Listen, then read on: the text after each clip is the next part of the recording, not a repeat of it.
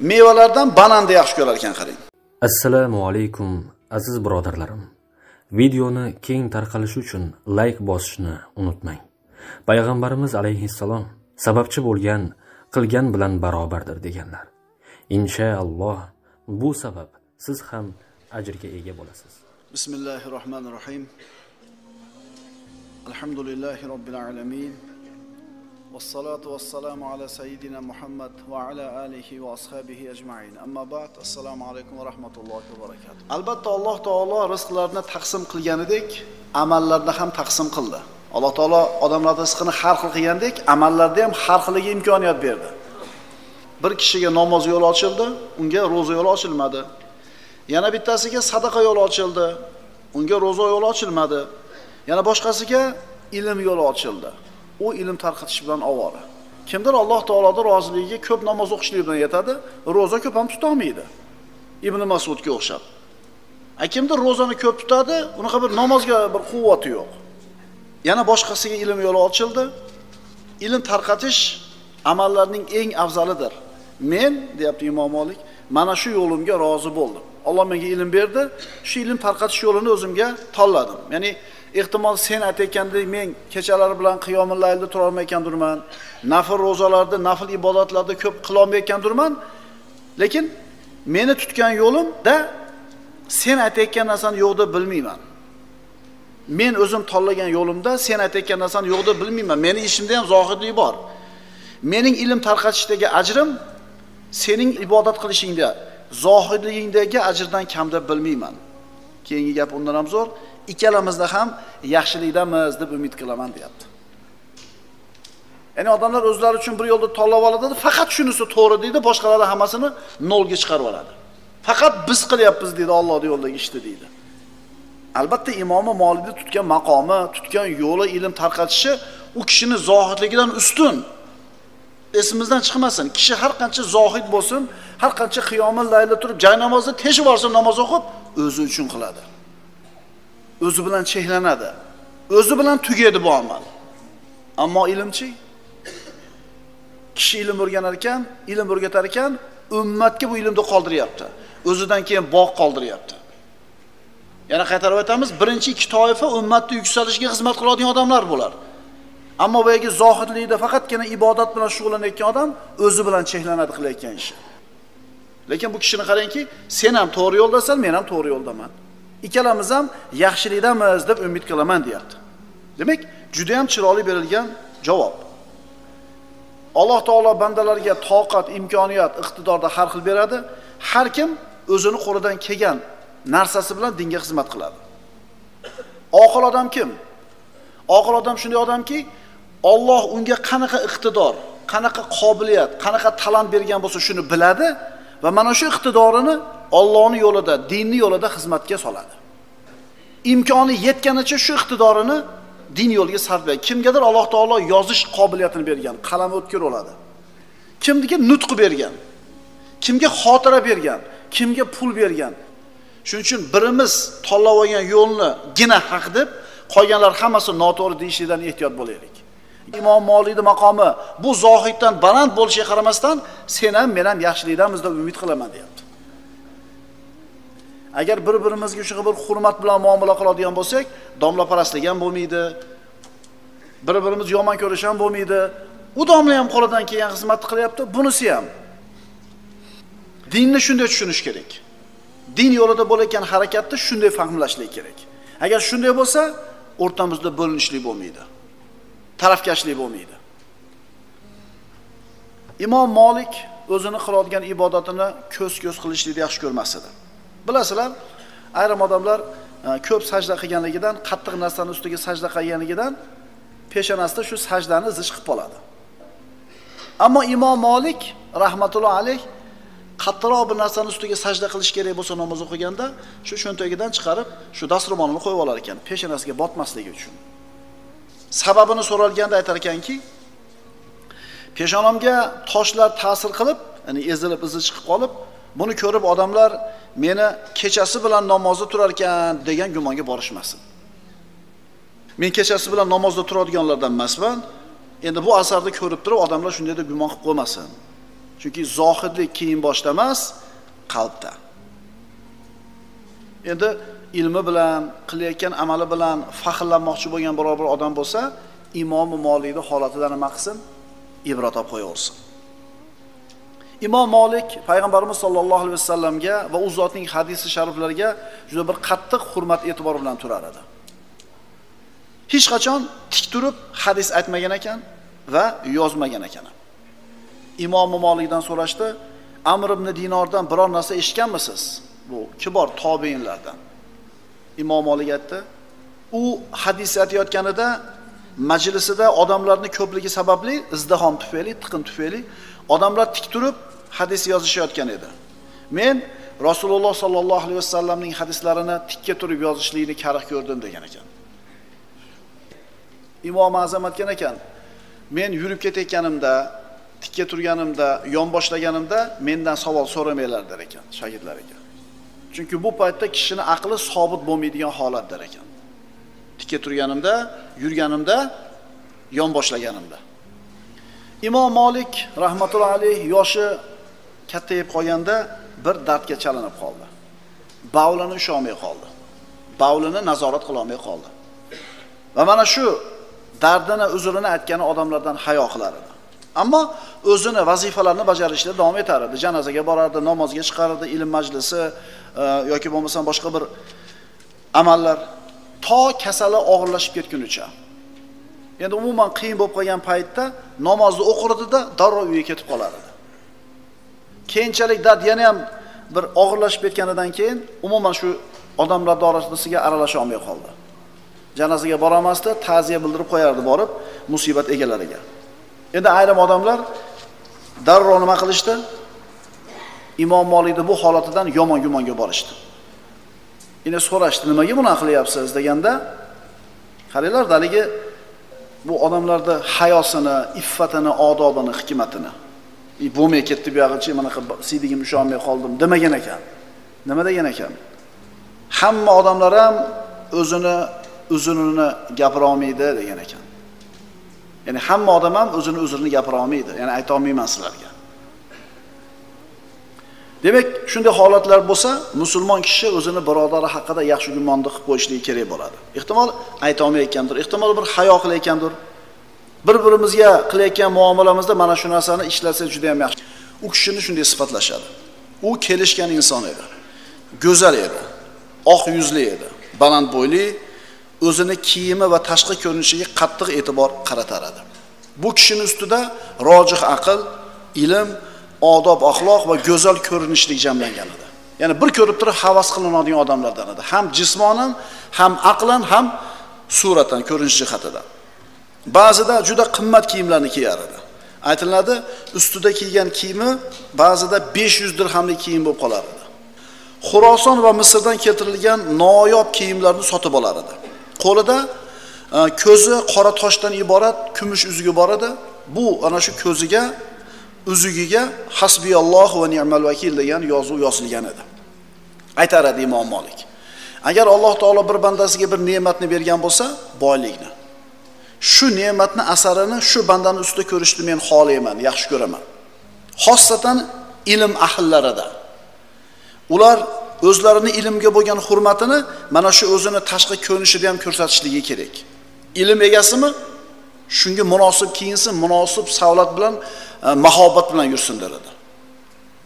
Imom molik o'zini ahlini yaxshi taomlantirardi. Har kuni go'sht bilan ta'minlar edi go'shtni muhayyo qilar edi mevalardan bananni yaxshi ko'rar ekan qarang.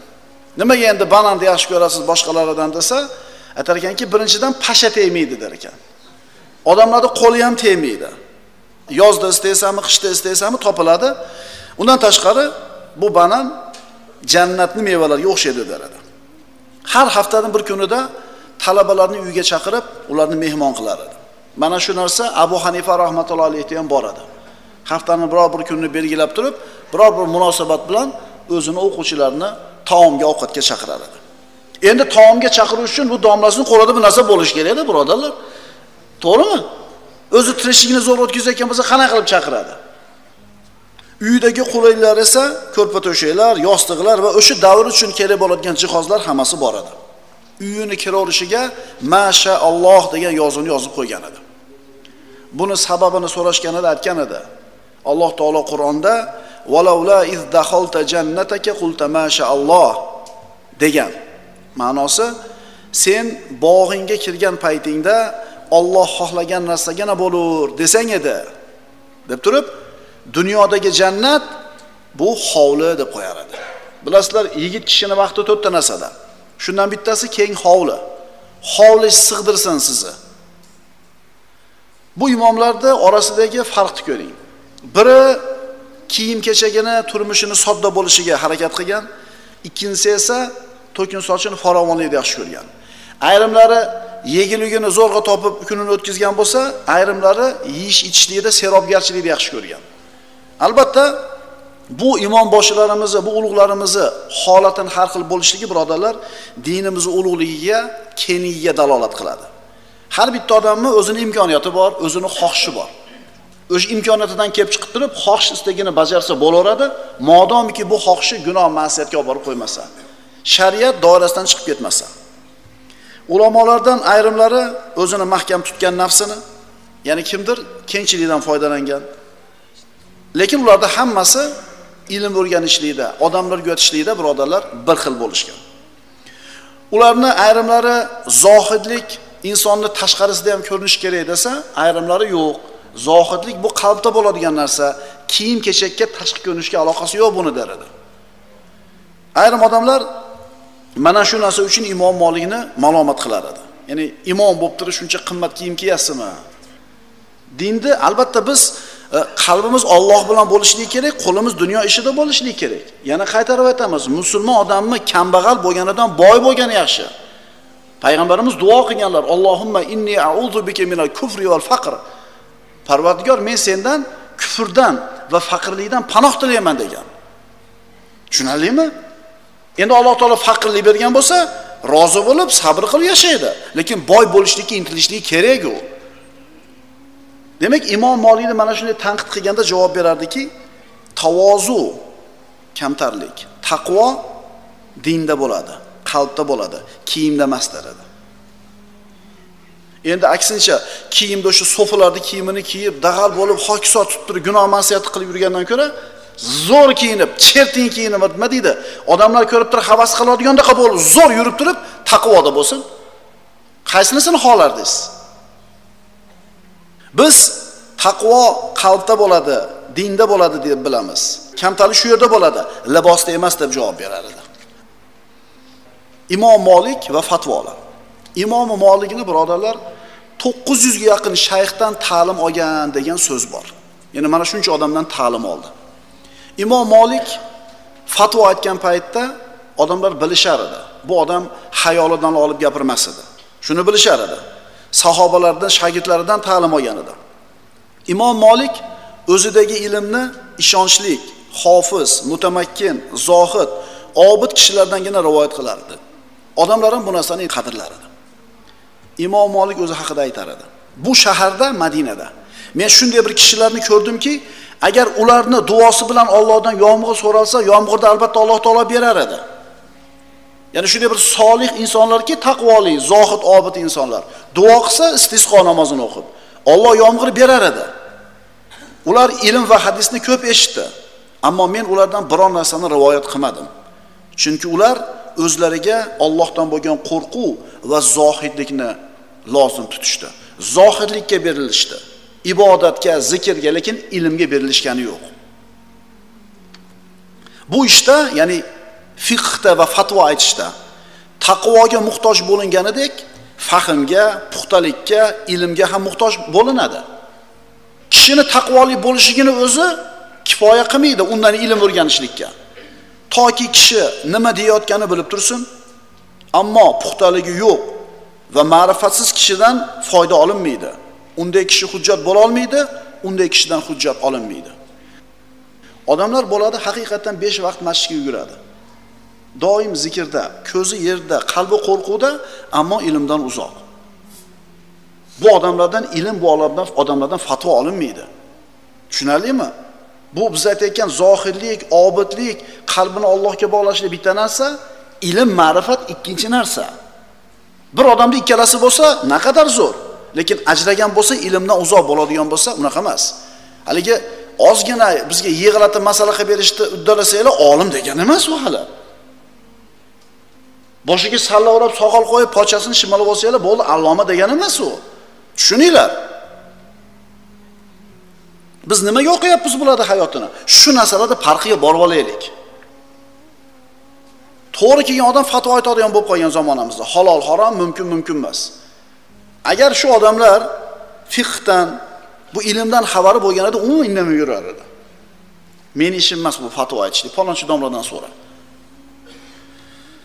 Imom molik ilmda mustahkam bo'lgan ulamolardangina hujjat olgan ulamolardan zohid obidlardan rivoyat qilmagan. Imom molik aytar ediki bu ilm din. Bu ilm biz aytayotgan ilm bu din. Bu ilmni kimdan olayotganinglarga qaranglar. Yana aytar edi men mana shu ustun ostida payg'ambarimizni masjididagi ustun ostida qololloh va qola rasululloh degan yetmishta odamni ko'rdim. Ularni birontasidan biror narsani olmadim rivoyat qilmadim. Agar ulardan biriga yomonligi uchun olmadim emas ulardan biriga musulmonlarni baytul moli topshirilsa omonatdorligi zo'r bo'lar edi. Ammo fiqhga fatvoga bular ahil emas edilar. Farqiga borib olaylik o'zini taqvoda ibodatda olib yurgan odam bitta odam ilm o'qiyotgan odam boshqa odam. Tushunarlimi? Ilm o'qiyotgan odam boshqa odam. Fatvoda to'g'ri kelgan odamni olavermaymiz. Faqatgina olim hofiz mutamakkin ilmiy ishonchli bo'lgan kishilardan olamiz. Internetdan ham olavermaymiz fatvoni ukalar. Bu muftiy bergan fatvosiga javob beradi. A bu g'ayibda turgan odam fatvoni beraveradi. U fatvosini oqibatida bu yurtda fitna bo'ladimi? Bu yurtdagi musulmonlarni boshi bo'linib ketadimi? Uni ahamiyati yo'q. Fatvo ochishlik uchun akalar ozgina yosh ham bo'lishi kerak. Ukalar ko'zinglarni ochinglar to'g'ri kelgan yiltillagan narsa u tilla emas. Imom molik masjidi nabaviyda birodarlar fatvo aytar edi. Aytar ediki bu masjidda payg'ambarimizning masjidida hadis aytaman fatvo aytaman deb xohlagan odam kelib o'tiravermaydi. To ahli solah va fazil bo'lgan kishilar bilan maslahatlashilmagunicha agar mana shu kishilar bu ishini shunga munosib deb topadigan bo'lsa shundagina fatvo aytishlikka haqqi bor. Ko'ryapsizlarmi? Payg'ambarimizni masjidda o'tirib fatvo aytishlik uchun ahli ilm bo'lgan odamlar guvohlikka o'tishi kerak shu odamni ilmi shunga munosib deyish kerak. Mana ilmga qanday yondashishlik kerakligini fatvoga qanday yondashishlik kerakligini kimdan fatvo olish kerakligini imom molik bizga o'rgatyapti. Men deyapti imom molik ilm ahlidan bo'lgan yetmish kishini mana shu joyda o'tirib fatvo aytishlikka loyiq ekanligimga guvohlik bergandan keyin o'tirganman deyapti. Kim guvohlik berdi? Biror bir jomiyani qo'lida bir guvohnomasi bormi? Uchta jomiyani tugatgan falon falon katta shayxlardan ta'lim olgan falon falon ijozalarni olgan shuni asosida fatvo beryapti degan narsa bormi? Ukalar ko'zinglarni ochinglar. Biz o'zimizda suvlar serob suvlar tiniq bulog'i aniq kimligi aniq tagi tugi aniq bo'lgan ustozlarimiz bor. Shularni gapini olishimiz kerak. Imom molik fatvoga hadisga bir xos munosabatda bo'lar edi. U kishini o'quvchisi mutorif aytadi imom molikni eshigini tagiga odamlar kelib biror narsa bilishmoqchi bo'lsa joriyasi chiqardida shayx sizlardan so'rayapti. Sizlar hadis eshitmoqchimisizlar yoki fiqh masala eshitmoqchimisizlar? Fiqh masala eshitmoqchimiz savollarimiz bor desa chiqib sharshar javob berib jo'natar edi. Ammo hadis eshitmoqchimiz desa kutib turinglar deyilar edi. Imom molik kirib g'usul qilib kiyimlarni eng chiroyligini kiyib xushbo'ylarni sepib sallalarni kiyib shunday bir riqor bilan chiqib turib payg'ambarimiz sollallohu alayhi vasallamning hadislarini xushu bilan aytib beradilar. Hadis aytib berar ekan buni asnosida biron kishini ovozini ko'tarilishiga yo'l bermasdi. Aytardiki ya ayyuhalladina amanu la tarfa asvatakum fawqa sawtin nabiy ey iymon keltirganlar oyat bu hujurot surasidan. Payg'ambarni so'zidan payg'ambarni ovozidan ovozinglarni baland qilmanglar der edi payg'ambarimiz sollallohu alayhi vasallamning hadislarga nisbatan shunday e'tibor ko'rsatardi hurmat ko'rsatar edi imomi moligini majlisi ilm majlisi viqor majlisi edi. Haybatli inson. Edi u kishi gapirayotganda hech kim gapini bo'lmas edi kerak emas gapni gapirmas edi. Endi imom molik 50 yil payg'ambarimiz sollallohu alayhi vasallamning hadislarini aytib dars berib o'tirdi masjidda. Mana shu 50 yil mobaynida bironta odam lag'v so'zni gapirmadi. U kishini majlisida hazil mutoyiba kulgi bo'lmadi. Ha u o'zini shogirdlari bilan o'tirganida oddiy odamdek muomala qilaverardi shogirdlar aytadi. Xuddi bittamizdaqa gaplashib o'tiraverardi ammo payg'ambarimiz sollallohu alayhi vasallam haqida yoki u zotning so'zlari hadislari haqida so'z kelsa u kishini biz tanimagandek bo'lib qolardik. Biza ham xuddi u kishi tanimagandek o'tirar shunday bir haybat bilan viqor bilan turar edi endi imomi abu hanifani majlisi buni teskarisi bo'lgan ekan. Dars o'tayotganda savol bo'lar ekan javob bo'lar ekan talash bo'lar ekan fikrlar o'rtaga tashlanar ekan to bitta fikrga kelgunga qadar. Ammo imom molik gapirtirmas ekan hech kimni. Bu kishining zamondoshlaridan bo'lgan bir kishi aytadi madina ahlidan bo'lmagan madinaga keldim imomi molikning atrofidagi kishilar sukut saqlab o'tirishar edi darsda. Undan haybatlanib biron kishi ham gapirmas edi. O'zi bu ulug' insonlarda hayotini o'qishdan maqsad nima? Bir tarixni eslab qo'yish bir voqealarni sanab o'tkazib qo'yishlik emas maqsadimiz o'zimizga ibrat namunani olishlik ana shu ulug' insonlarimiz qanday ulug' bo'lganligini ko'rsak ko'zimizda bizga namuna mujassad bo'ladigan bo'lsa Alloh tomonga yurishligimiz to'g'ri bo'ladi va shularga iqtido qilamiz, ergashamiz. Imom Molik odamlar orasida martabasi baland edi. Shu martabasiga yarasha ko'rinishda ko'chada yurishni xohlar edi. Odamlar oldiga chiqsa, boyaga aytayotganimizdek kiyinib haybat bilan salobat bilan chiqaradi sallalarni kiyib. Hatto do'stlarini oldiga chiqsa mana shunday bir kiyinib chiqaradi. Odamlar u kishini odamlarni ko'z o'ngida ovqatlanganligini ko'rishmagan edi. O'zini hojati uchun bo'lsa ham bozorga chiqmas edi. Va olim odamni bozorga chiqishligini yaxshi ham deb bilmas edi. Ilmli odam bozorga o'zi chiqishligi to'g'ri emas deb bilar edi. Xizmatchisini chiqarishligi kerak. Mana shu haqida aytardiki, olimga bozorga o'zi chiqib hojatlarni sotib olishi lozim bo'lmaydi. Garchi bu narsa uning moliga nuqson yetkazsa ham. Endi qimmatroq bo'lsa ham bozorga chiqmasdan olsin. Chunki odamlarning ommasi, aksariyati bu olimni qadrlamaydi. Bunday deyishiga sabab nima edi? Qozi Iyoz al-Andalusi. Andalus ulamolari bozorga o'zlari chiqishar edi. Salla kiymasdan yurishar ekan. Bozor ucharlarni o'zi qilishardi. Endi domla kelib qopti, olim kelib qopti deb savdogarlar narx-navolarni pasaytirib berishar edi, ikrom qilib ularni. Shuning uchun Imom Molik olim odam bozorga tushmasligini ma'qul deb bilar edi. Man qilinmagan tushishi, lekin ilmiga, jamiyatda tutgan maqom martabasiga to'g'ri kelmaydi deb bilardi ekan. Shuning uchun birodarlar, hamma olimda bir xil bo'lishi shart emas. Har bittasi o'zini sharoitidan, tabiatidan kelib chiqib ish qilgan. Mana birodarlar, Imom Molikning hayotini o'qiyapmiz. Ilmga, fatvoga, kimga ergashishlikka yo'l qanaqa ekanligini shularni hayotidan o'rganamiz birodarlar. Inshaalloh davomini ertaga suhbatimizni davom etkazgan bo'lamiz. Aqulu qawli hada va astagfirulloh li va lakum. Assalomu alaykum va rahmatullohi va barakatuh.